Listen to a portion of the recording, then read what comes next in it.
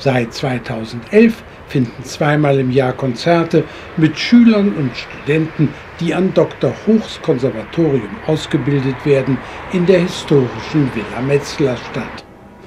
Die Villa gehört zum Museum für angewandte Kunst am Frankfurter Museumsufer. Epochenklänge heißt die Konzertreihe. Im November 2016 hieß das Konzert in der Villa Die schönsten Seiten der Romantik. Ein besonders herzliches Willkommen richtig an Frau Maike Kunstreich. Sie steht da noch in der Ecke an der Tür, aber Sie werden sie gleich von vorne sehen. Das Schönste, was man in den Räumen dieses alten Hauses machen kann, ist Musik und dazu braucht es Musiker. Da sind wir in der glücklichen Lage dafür, eine Kooperation mit Dr. Hochs Konservatorium eingegangen zu sein. Liebe Frau Kunstreich, Ihr Name ist Programm. Ich freue mich, an Sie übergeben zu dürfen.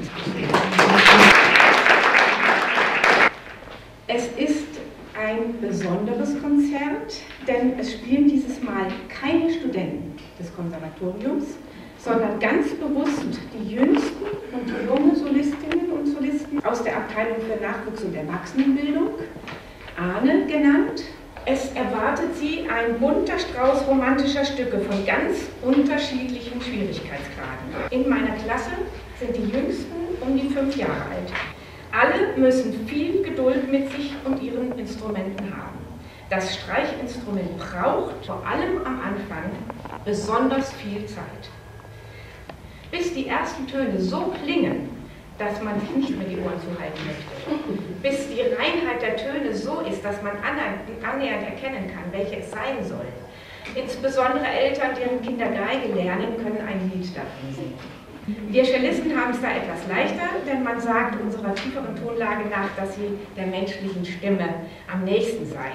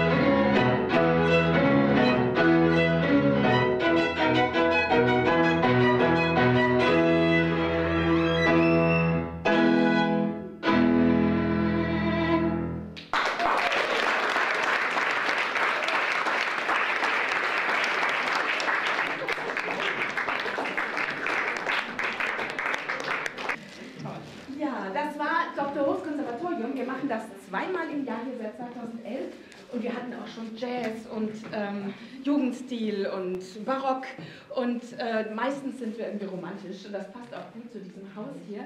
Und ich freue mich, wenn Sie es weiter sagen, wenn Sie wiederkommen und ich hoffe, Sie hatten heute einen schönen Abend. Danke.